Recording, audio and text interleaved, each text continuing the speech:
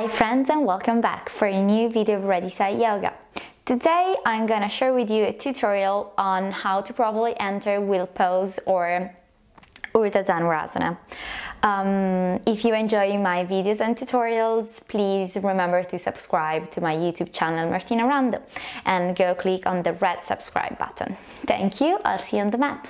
Namaste.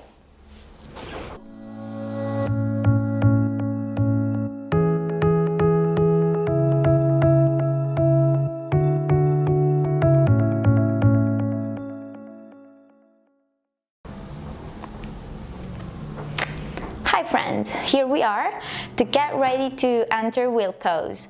Today you wanna might have um, a block. We might gonna have to use that. Um, that depends on you, but like that's a good option.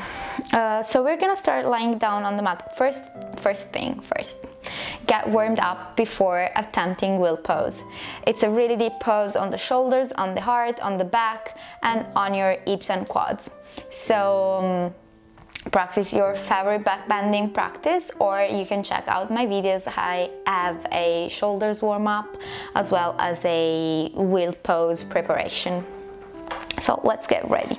I'm gonna have to move this. Okay lay down on the mat.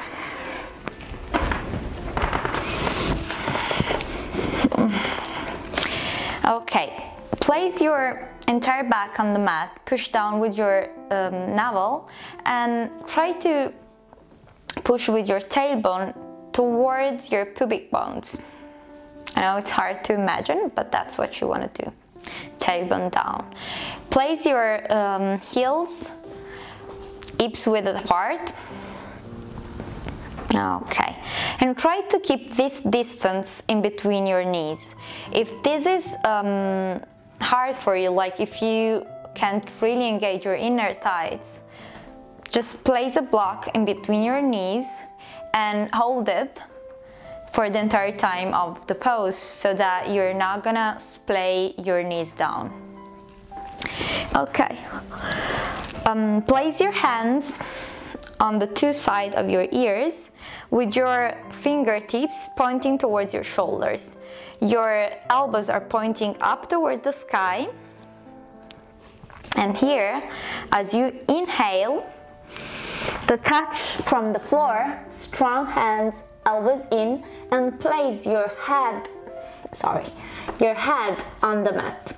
You can stay here for now if that's too much and keep working on going up and down. Inhale up, exhale down, and this way you're gonna build the strength to get into wheel pose. Remember to point forward with your toes. So as you can see, I was holding the block and this doesn't fall down. Keep the block for the entire time if you need to. Oh, okay, just if you're gonna go all the way up, if this was easy, same thing, inhale. First step, you can stay here if you feel ready. Inhale, push the floor away. Relax your glutes, tights one towards the other, and push with your chest up and back. Okay, if, you're, if you are a little bit more flexible, you can uh, get your legs straight. Otherwise, you can walk in with your hands towards the feet. It's always your hands walking towards the feet, not the other way around. But if you're not, just stay in a larger wheel and that's totally fine as long as you don't push up with your navel, but back and up with your chest. Straight your arms and relax your neck. Inhale to go back down. Hmm, place your chin towards the chest and slowly come back to the floor. Exhale, release. And when you're done with your wheel practice, you can bring your knees towards the chest, hug them in, and rock from side to side on the back. And that's it. I hope you enjoyed. Wheel pose always get me very tired and um, talking through it, it's never easy. Sorry, I've lost my microphone in the t-shirt. I hope you'll get a good enough sound.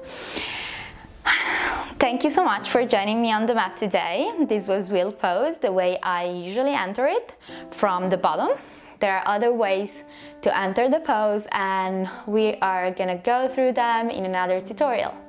That's it for now. Thank you so much and namaste.